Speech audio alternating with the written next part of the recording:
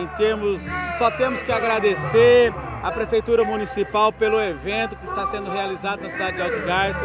Está de parabéns, de portas abertas para a nossa população poder vir e assistir o rodeio municipal de Alto Garça. Parabéns, Claudinei, parabéns à vice-prefeita, parabéns à população, que isso é um presente para a nossa população, porque a gente sabe que é muito difícil quando tem um evento da qualidade desse, Luiz Otávio, e tem que ser pago para entrar na, na portaria. Muitas vezes o pai tem dois ou três filhos e custa 20 reais, pesa um pai de família. Então, Alto Garça hoje está de parabéns. Era um sonho que a gente tinha de poder vir e participar do evento de portas abertas que nem nós estamos participando hoje em Alto Garça. Parabéns à população, parabéns à administração de Alto Garça.